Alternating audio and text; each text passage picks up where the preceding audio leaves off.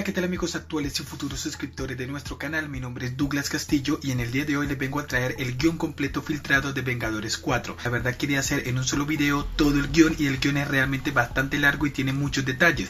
Sé que han habido muchas filtraciones y muchos guiones filtrados, pero este es el guion que más me convence, el que tiene más coherencia y el que me gustaría a mí que fuera. No puedo saber con exactitud si este guion es verdadero o no, pero lo único que sé es que salió hace más de un mes y no duró ni una hora, luego lo bloquearon y lo eliminaron. Así que esto le da más credibilidad. Así que sin más preámbulos, comencemos.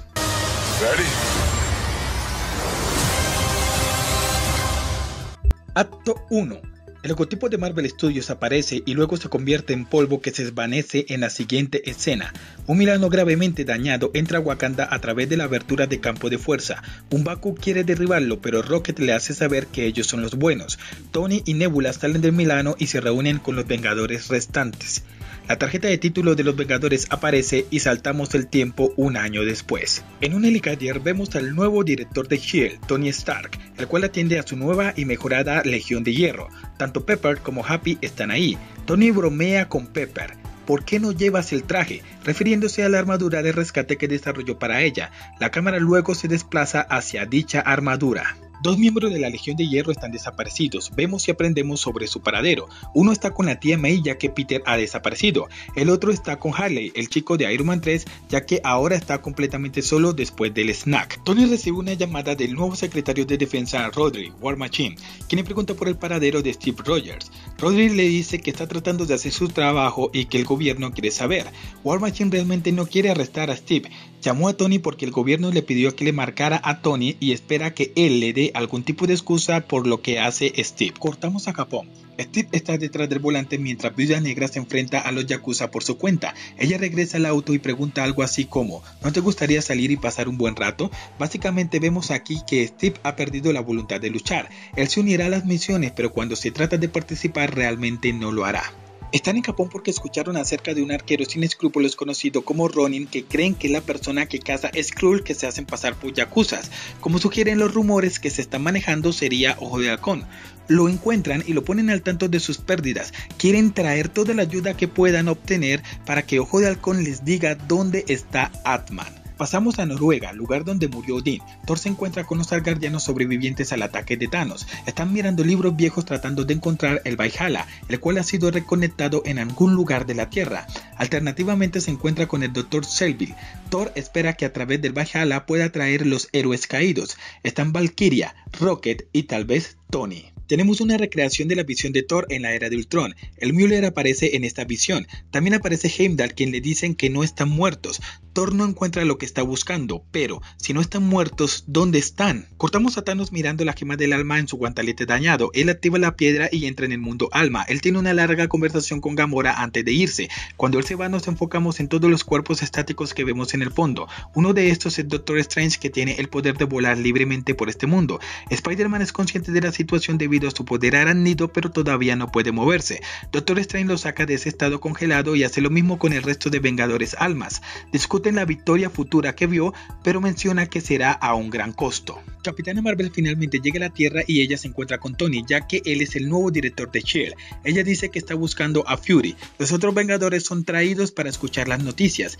Ella ya ha visto esto antes, la persona se vuelve en polvo y dice que hay una salida. Todo lo que necesitan es la gema del alma y el resto de la gema del infinito para poder darle un rango infinito. Recuerda el resto de los Vengadores que el guantelete del infinito está dañado, pero hay otro en Nidavellir. Y Rocket se pregunta cómo pueden llevar la gema del infinito hacia el guantelete si los seres normales no pueden llevarla sin morir. Adman dice que tiene una idea. Se encuentra con Hanpin. Hanpin desarrolla bandas cuánticas que pueden contener la piedra del infinito. Hace esto al dispersar todo el exceso de energía en el reino cuántico. Capitana Marvel se queda con el resto de los Vengadores mientras intenta detectar la ubicación de Thanos. Capitana Marvel le dice a Steve que parece basura. Este se limpia, se quita la barba, se pone el traje y el escudo de Vengadores una vez más. Lo que Capitana Marvel le dijo le dio la posibilidad de traer a los Vengadores de vuelta, lo que le ha dado esperanza y una nueva perspectiva de la vida. Tony, Atman y Steve usarán Brea, el sistema binario retroenfoque amplificado que vimos en Civil War, para mirar hacia atrás en la batalla de Nueva York. Tony quiere mostrarle algo que notó el otro día cuando usaba Brea, la interacción entre las gemas del infinito. Él le muestra el momento en que usaron la gema de la mente cetro de Loki para desactivar el tercer actor gema del espacio y espera que si logran obtener a menos una gema del infinito puedan deshabilitar el resto de gemas en el guantalete. Los Vengadores se enfrentan a Thanos y antes de comenzar él le muestra algunas visiones con la gema del tiempo. Tony ve una vida relajada y normal con Pepper y su hijo. Altman se ve a sí mismo entrenando a Casey Land para que sea un héroe. Casey Land tiene 16 años. Tony dice que puede ayudarlos. Él le muestra a Steve la posibilidad de usar la gema del tiempo para deshacer sus propios pesares. Steve se ve a sí mismo en la pelea contra Calavera y deteniéndolo antes de hacerse estallar. También se ve a sí mismo retrocediendo en el tiempo y viviendo una vida normal con Peggy. Tenemos algunas peleas uno contra uno, Capitana Marvel se enfrenta contra Thanos y Capitana Marvel está destruyendo a Thanos. Este usa trucos baratos para sacarla del juego. Steve empuña el Stormbreaker. A medida que transcurre la batalla, el guantelete se destruye poco a poco y las piedras se caen una por una. Los Vengadores usan las bandas cuánticas para recoger las piedras del suelo y las usan para desactivar el guantelete cada cierto tiempo de la pelea. Eventualmente ellos ganan y el guantelete es destruido. Los Vengadores han reclamado todas las gemas del infinito excepto una. Thanos usa la gema del alma para ir al mundo alma. Cuando Capitana Marvel intenta recoger la gema del alma se convierte en polvo. Necesitan un sacrificio para obtener la gema. Nebula menciona que Volmir fue el último lugar de descanso de la gema del alma. El equipo se divide de nuevo, algunos van a Volnir y otros van a Nidavellir por el guantelete del infinito. En Volnir, Steve se encuentra de nuevo con cráneo rojo y este le recuerda que debe hacer un sacrificio. Tony se ofrece a sí mismo, pero Steve interviene recordándole que aún tiene mucho por vivir. Él termina sacrificando su vida y Tony obtiene la gema del alma. Esto demuestra que Tony realmente amaba a Steve como un hermano. Finalmente hicieron las paces. En el mundo del alma los Vengadores Alma matan a Thanos, pero él regresa una y otra vez. Finalmente toma la delantera y mata a los Vengadores. Él usa el tiempo infinito que ahora tiene en la gema del alma para adquirir experiencia de modo que cuando salga será más fuerte. En la Tierra ensamblan el otro guantelete y Tony lo usa ya que él es el único que puede usar la gema del alma. Él usa su nueva armadura para sobrevivir.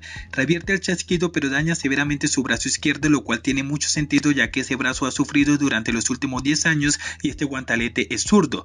Los Vengadores de la gema y todos los demás desaparecidos durante el chasquido vuelven. Llegan preguntando por Steve, pero también regresa Thanos, quien ahora es mucho, mucho más fuerte. Thanos lucha contra los Vengadores pero esta vez tiene la ventaja, literalmente destruye a todos, algunos de los Vengadores originales realmente mueren, Viuda Negra muere haciendo que Hulk estalle en rabia, Ojo de Halcón muere, Banner muere después de ser separado de Hulk, solo Thor y Tony sobreviven a esta batalla. Todos están caídos y Thanos decide celebrar su victoria seguro de que su cuerpo soportará otro chasquido debido a lo que le hizo la última vez.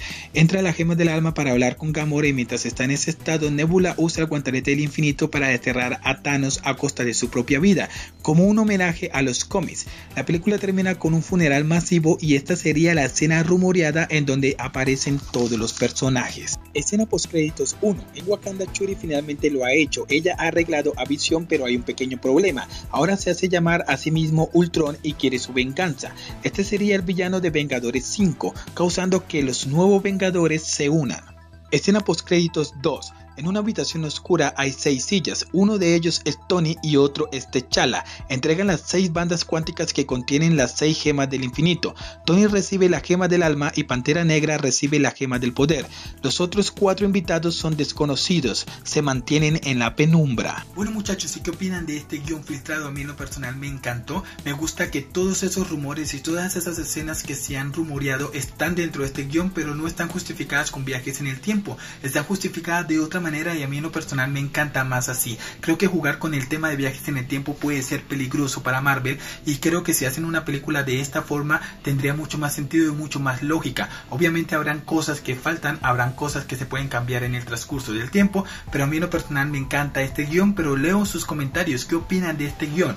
Muchas gracias por reproducir el video completo, perdón por hablar así de rápido, pero era la única forma de tratar de que este video no saliera tan largo. Espero que les haya gustado, si les gusta, dale un pulgar arriba si no se has suscrito al canal que estás esperando suscríbete. Si sé que estoy desconectado porque volví a trabajar y ahora tengo menos tiempo pero trataré de no descuidarlos y subir mis videos periódicamente. Así que muchas gracias y nos vemos y nos leemos en una próxima ocasión. Ah no se les olvide que en la descripción está el enlace para los que quieran donar voluntariamente para que me pueda mantener activo en este canal y no descuidarlo como sucedió la otra vez. La idea es poder seguir trayéndole ese contenido que a ustedes tanto les gusta